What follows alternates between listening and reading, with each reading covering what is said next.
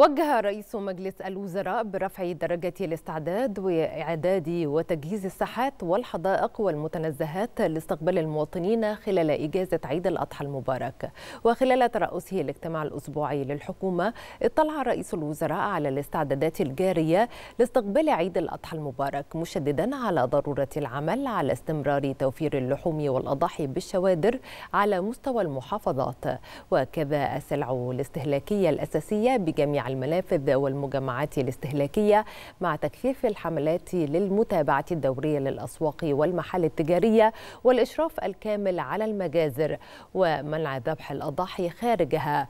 وشدد رئيس الوزراء على ضرورة قيام القيادات التنفيذية بالمحافظات بالمرور المستمر اعتبارا من الغد وحتى آخر يوم في فترة الإجازات للتأكد من عدم وجود أي تعديات على الأراضي الزراعية أو المباني. مع التصدي بمنتهى الحزم لأي تعديات بالمحافظات وتنفيذ الإزالة الفورية لحالات التعدي المرصودة.